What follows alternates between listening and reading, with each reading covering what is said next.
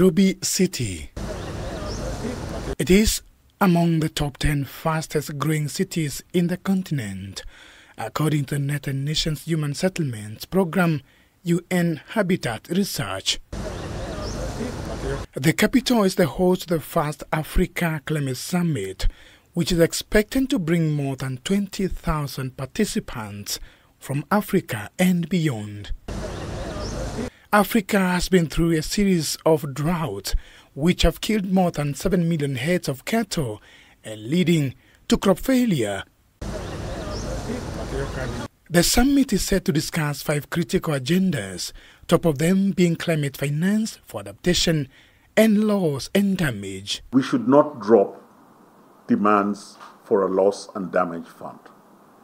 That is important. It is a fact that Africa has contributed the least to the climate crisis today. We are pushing for agroecology policy, both at the local, national and regional level, for agroecology to be recognized and appreciated as one of the interventions and successful practice for climate resilience. Africa's energy transition will also be a key point of the discussion. Kenya has 92% of its energy from renewable sources and is expected to reach 100% by the year 2030. Given that Nairobi City is among the fastest growing cities in the world, the county government of Nairobi is keen on the green building, which is a way of constructing having in mind environment conservation. Nasra Nanda, a member of County Assembly Special Elect and CEO of Kenya Green Building Society, put into perspective the Green Building Initiative and why it is key. Africa is a continent with a very big um, opportunity and problem. It has a growing population, an estimated 1.4 billion uh, people will live in Africa by 20, I think 30 or 50. So for us, we focus on the built environment as an ecosystem of opportunities. The county level right now, what's happening is um, we're in the process of reviewing um, green building guidelines.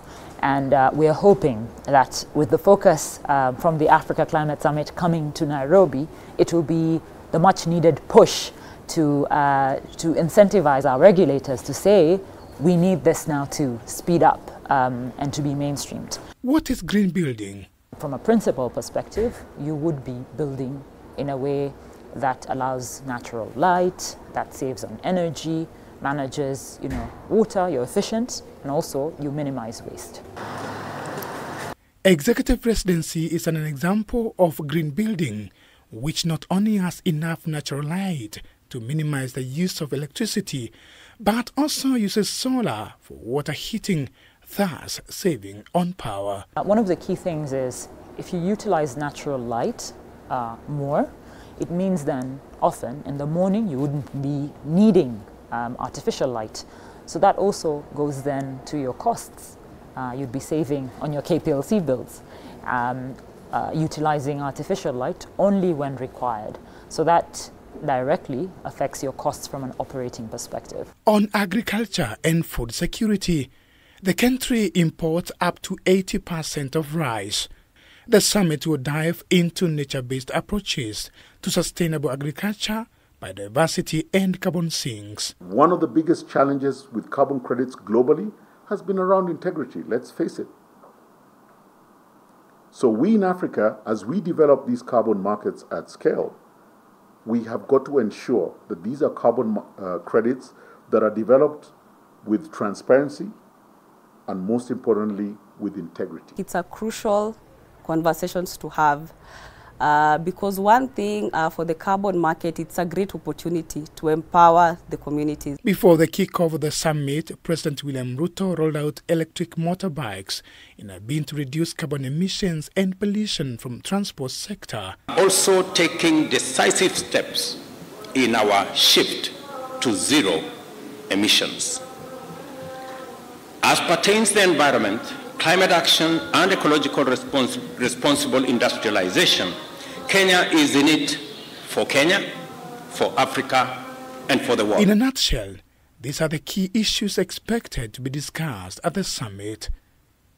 Climate finance for adaptation and loss and damage, Africa's energy transition, equitable and sustainable cities, critical minerals and other clean energy sources, and nature based approaches to sustainable agriculture, biodiversity, and carbon sinks.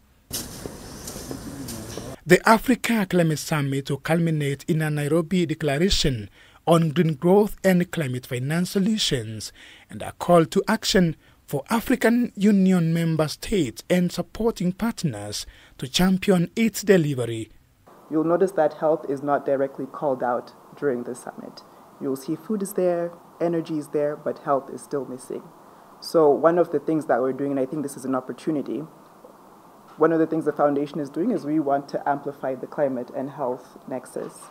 So we are starting here at the Climate Summit, and this is something that we also want to take all the way up until COP28, where for the first time there's going to be a Climate and Health Day. It seeks to launch a new ambition for Africa and invite partnerships from the rest of the world. The summit serves as a platform to showcase progress ahead of COP28 in Dubai. It is a matter of hours before the Africa Climate Summit kicks off. Discussions from the summit are expected to address issues affecting the continent on matters climate change.